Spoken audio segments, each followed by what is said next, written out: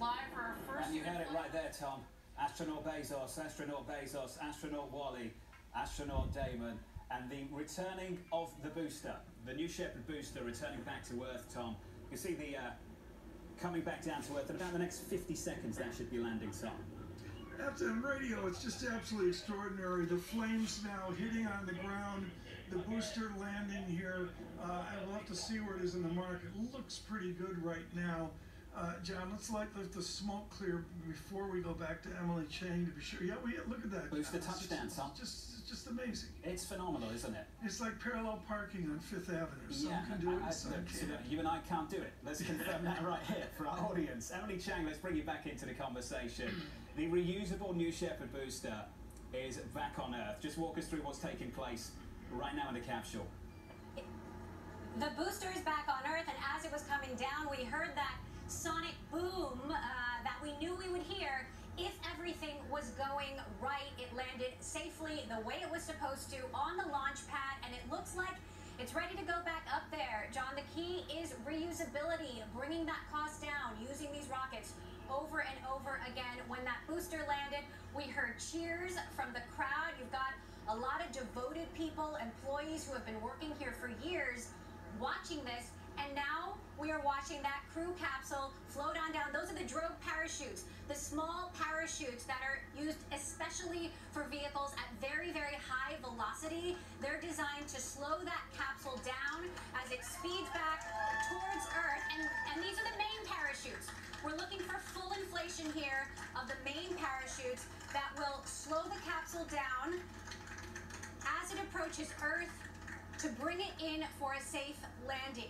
The retro thrust system will kick in, basically pushing out a cloud of air below the capsule, and we expect it to land in a cloud of desert dust. Look at that, it's getting closer and closer to the ground, just 15, 1,600 feet above the ground right now. Uh, you can imagine uh, this is the culmination of a live stream for Jeff Bezos, um, for Wally Funk, as John, you've been talking about, an icon of aviation for Mark Bezos, Jeff Bezos' his brother, and for 18 year old Oliver Daemen. Uh, there you see the crew capsule descending back to Earth. Uh, there are multiple vehicles on the ground in a grid pattern waiting to zoom in as soon as touchdown happens here. Emily, thank you. That capsule, Tom Keene, 800 feet away. It's just amazing to see, and of course, the debate of land versus sea 40 and 50, 60 years ago, and now routinely done on uh, land. Let us listen in right now.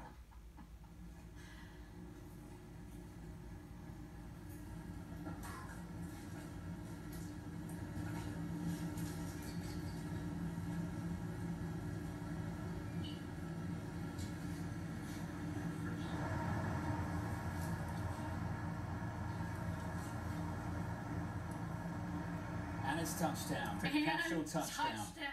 Tom Keene, that looks successful to me. I don't know about you. Yeah, we'll have to see. I, I believe it is successful. Amazing to me, John, to see the speed at which they seem to be dropping, and yet a very gentle landing.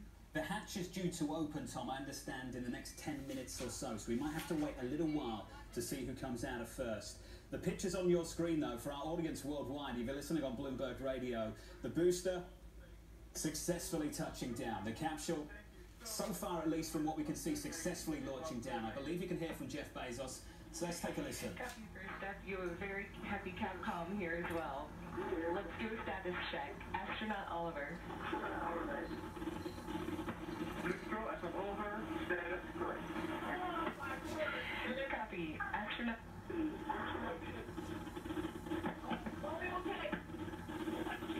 Copy. Astronaut demo. Astronaut demo, I am unbelievably good. Copy. As-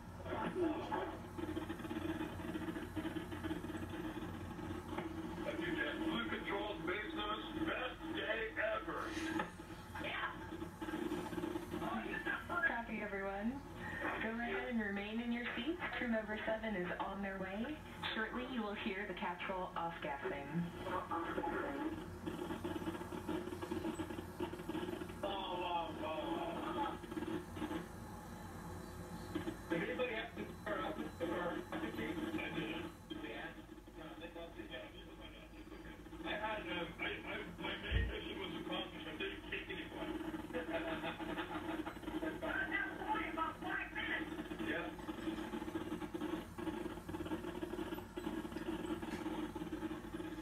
Tom Keene, that looks like a successful mission. The astronauts checked in, the capsule successfully returning to land. That hatch is due to open in five or so minutes' time.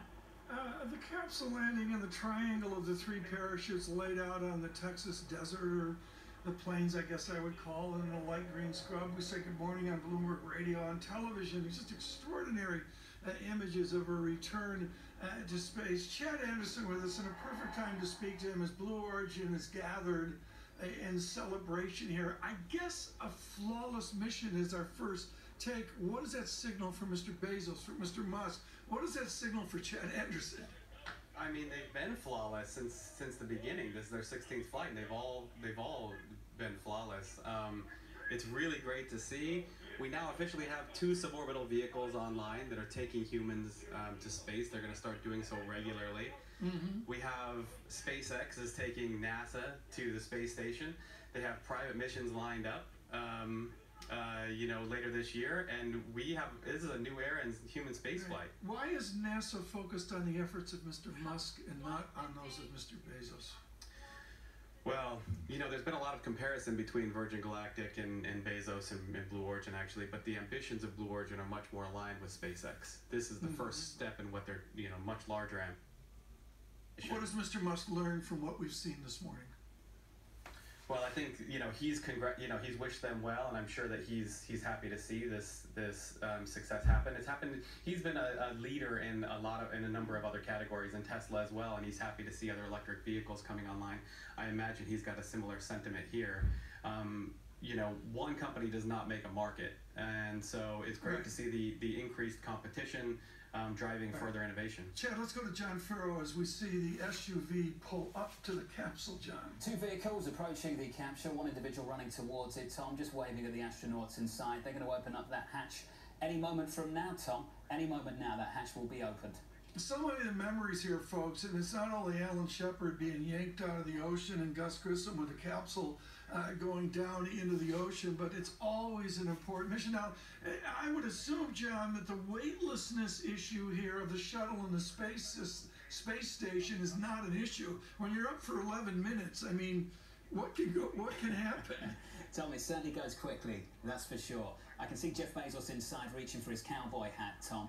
I think that's going on right now as they go to open up that capsule. We were taking bets on who would exit first. Tom, who went in first? I think Jeff Bezos went in first, so I'm pretty sure that Mr. Bezos is going to be first out. Did they come out and say, "I'm going to Disneyland"? I mean, is that part of the? I don't think this is the Super the Bowl. Tom. Tom, this is not the Super Bowl.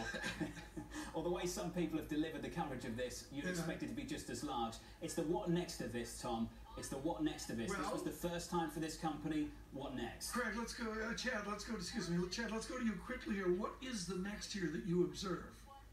I mean, there's going to be more of these flights. They've got more lined up, and interestingly, I mean, it's going to see it's going to be interesting to see where they price this thing, how many people are going. We know that 7,500 people put in bids in this auction, paying up to 28 million, and there was thousands of people who paid, you know, any variation. Um, and so it'll be interesting to see where they end up, how Virgin responds, and Yeah. where Blue Origin goes next. John, let's describe the scene for radio here. We've got a mic up like they use for us on Bloomberg surveillance to be Yeah. sure they get it with tone, but uh, certainly a different scene than anything I've seen from NASA before, John. I can count one, two, three, four individuals working on opening up that capsule, Tom. It's going to take a couple of moments, I think. You can just about see Jeff Bezos inside the capsule, waving around and giving a thumbs up as we wait for that to open up. I want to bring in our colleague Emily Chang as we await this moment. Emily, your thoughts on what's developed in the past hour?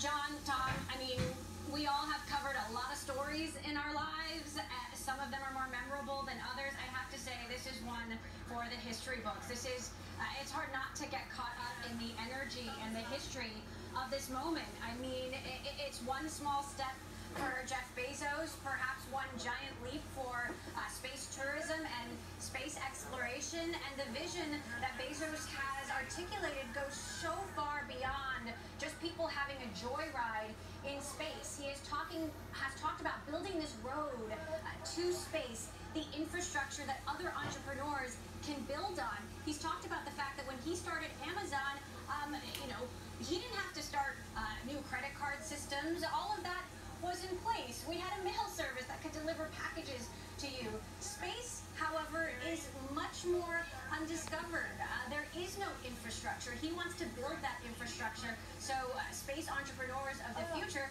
can build a whole new generation of, of Amazons out there. And so uh, it'll be interesting to see what he has to say uh, as he steps off this flight and whether or not the experience has changed him or this vision at all. Um, but it, it, you know, obviously this is a suborbital flight. Uh, Blue Origin working on orbital flights with the New be their next big project. Uh, we spoke to a lead designer who said they're on track for that to be done uh, before the end of next year. So who knows? Jeff Bezos could be up there again on an orbital flight. I believe that hatch door is about to open any moment now to see who comes out of that capsule first. The astronauts inside are standing up. They're standing up, Tom, as we await that door to open, perhaps in the next couple of seconds. They're going to descend down, uh, uh, John, and you know it's going to be a great moment. The stairs, John, frankly, look like the ones we have for the Gulfstream. The hatch door has opened in the capsule, Tom. Exiting first is Jeff Bezos, donning that cowboy hat that he's been wearing over the last week or so, Tom. After him, the first teenager, the first human flight, the youngest ever astronaut there, Tom. And there you go. Tom, we keep talking about this moment. For the 82-year-old aviation icon, just phenomenal. And his brother, the last out of the capsule.